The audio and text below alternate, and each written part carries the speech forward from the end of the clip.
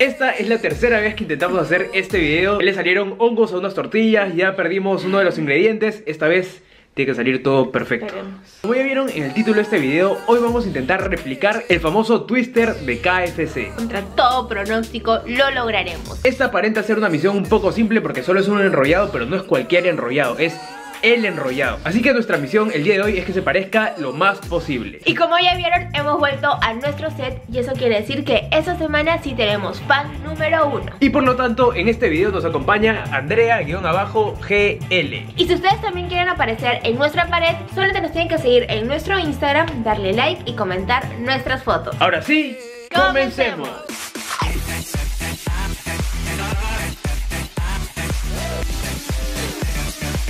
Pero antes de empezar a mostrarles los ingredientes que necesitamos para esta receta, les queremos contar que esta vez sí hemos venido preparados.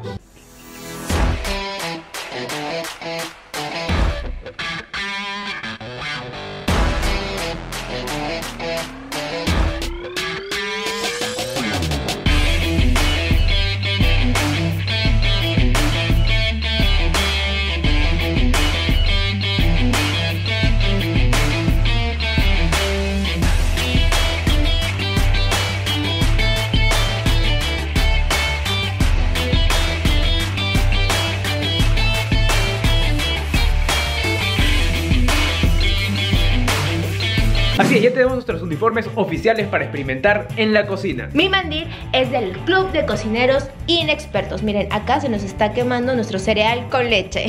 y mi hamburguesa se está preparando. Como ven, está en proceso de carga. Y por el momento, si eres de Perú y quieres uno de estos uniformes para estar listo para cocinar como se debe, puedes seguirnos en nuestro Instagram Desbalanceado Shop o también nos puedes enviar un correo que los vamos a dejar por acá para que puedas tener uno de estos en tu casa. Ahora pónganos en los comentarios cuál de los dos les gustó más. Ahora sí, apunten bien porque les vamos a decir todos los ingredientes que necesitan para preparar el twister casero. Primero vamos a necesitar obviamente nuestras tiritas de pollo. Luego vamos a necesitar una cucharada de páprica, otra cucharada de pimienta negra, otra cucharada de pimienta negra, una cucharadita de sal que por cierto combina con mi mandil, una taza y media de leche, dos huevos, un cubito de gallina, pero como nosotros no encontramos un cubito, encontramos mini cubitos, entonces si juntas cuatro, yo creo que ese es un cubito. Matemáticas. Y una cucharadita de ajo molido. Todos estos ingredientes que ahorita les acabamos de decir es para marinar. Esto lo vamos a tener que dejar por lo menos dos horas para que de alguna manera absorba el pollo todo el sabor y quede delicioso. Ya antes de enredarnos con los demás ingredientes, primero vamos a marinar el pollo. Así que cogemos un bowl y ponemos primero toda la leche, que como ya saben es una taza y media.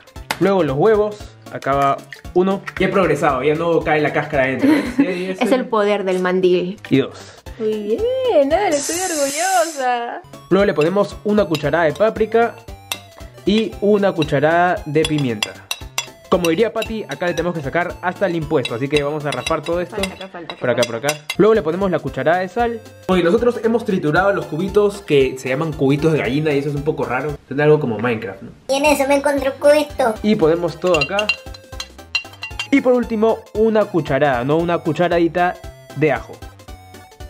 Y ahora llegó el momento de mezclar por completo todos los ingredientes. ¿Y cómo? Por supuesto, con, bueno, esto no viene incluido, pero esa lo puede poner acá.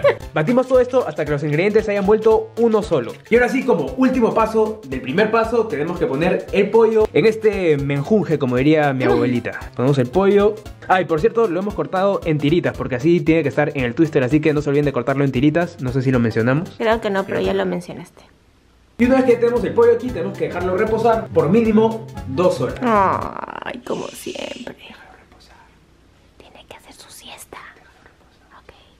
Ya han pasado dos horas desde que hemos dejado marinando nuestro pollo, pero vamos a dejarlo unos minutos más. Mientras tanto vamos a ir preparando lo que va a ayudar a que nuestro pollo salga crocante. Para esto vamos a necesitar una taza de harina, media taza de maicena, media cucharada de pimienta y también media cucharada de sal. Y por último, una pizca de polvo para hornear. Ahora vamos a poner todos los ingredientes que les dije en un bol. La media taza de maicena, una cucharadita de polvo para hornear, la sal y la pimienta. Batimos y batimos hasta que se mezclen todos los ingredientes. Y ahora solamente falta un paso antes de freír los pollos. Vamos sacando uno por uno del bowl donde se están marinando y lo ponemos sobre la nueva mezcla. Hacemos que esté bien cubierto y una vez que está bien cubierto lo pasamos a otro plato. Y esto lo tenemos que hacer repetidas veces con todas las tiritas de pollo que tenemos acá. Y ahora que ya tenemos todos los pollos listos para freír, lo vamos poniendo en esta sartén con bastante aceite que previamente se ha ido calentando. Así que vamos poniendo uno por uno. Con cuidado. Con mucho cuidado. Ahí está. Miren eso, miren eso. Segundo. Y aquí entra uno más. Ahí está. Salieron nuestros tres primeros pollitos y la verdad es que no se ven nada mal. Creo que esta receta está mejor que la que hicimos tratando de imitar el pollo de KFC. Creo que sí. E-, esa era la culpa del TikTok que se hizo viral y que no se parecía tanto. Ya casi está nuestra segunda tanda, pero quiero que vean cómo ha cambiado un poco el color de estos pollos y en verdad se parecen bastante a los de KFC. Y hasta yo me he quedado sorprendido porque miren el color, es tal cual. Miren cómo salen, salen un poco más pálidos pero en el momento en que se van secando y absorben todo el aceite, van cogiendo el color de allá. Cada vez estamos más cerca de poder probar nuestro twister casero. Y lo último que nos, bueno, lo penúltimo que nos falta es preparar nuestra salsa. Así que vamos a necesitar media taza de mayonesa y le vamos a agregar el jugo de un limón. Acá va medio limón y acá está el medio, el otro medio limón. Le echamos un poquito de pimienta y removemos hasta que todo esté completamente mezclado. Ahora sí, estamos en la recta final y solamente nos queda decidir qué tortilla utilizar. Acá tenemos dos opciones. Una un poco más mexicana que es una tortilla de maíz y una por aquí que es una tortilla de trigo. Vamos a probar las dos para ver cuál sabe mejor, pero el clásico twister es con tortilla de trigo. Ahora, si están buscando la tortilla que sea una copia exacta según nuestra experiencia, pueden buscar en los supermercados una que es amarilla y es un poco más grande que estas y esa es justamente la que se nos hundió dos veces. Y ya no hay por ninguna parte. La única diferencia es que estas son un poco más pequeñas, que nosotros estamos hablando son más o menos... O sea, yo creo que es más o menos del mismo tamaño del sartén. Sí, así que digamos que estos van a ser unos mini twisters, pero van a saber a twisters. Estas tortillas no están hechas para estar mucho tiempo en la sartén, así que les recomiendo hacer esto muy rápido. Así que ponemos la tortilla, dejamos que se caliente un poquito y una vez que se ha calentado le damos la vuelta. Y primero le ponemos un poco de lechuga, luego el tomate, luego le ponemos el queso cheddar por encima las tiras de pollo, que en este caso, por, como estamos haciendo un mini twister, van a entrar dos. Y la salsa. Miren esto. Y lo sacamos rápidamente antes de que se queme. O y antes que se te caiga. Miren esto, díganme si no es una copia exacta del twister, todavía con el queso derretido. Uf.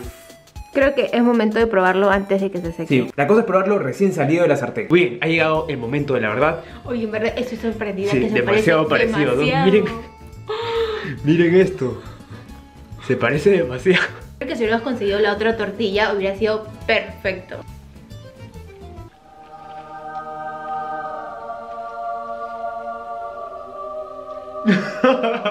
es tal cual. Es un twister. No puedo creerlo. En serio. No puedo creerlo. Hasta la misma salsa, o sea, la salsa de la mayonesa es igualita. Si me preguntaran qué tanto se parece esto a un twister del 1 al 10, yo le pongo un 10 en serio. Es tal cual un twister. Oye, un 9.9 para no ser tan... Claro, no, no decir que es exacto, pero demasiado parecido. Creo que la persona que ha hecho esta receta por internet ha trabajado en KFC o algo por el estilo. Porque Hemos hackeado KFC.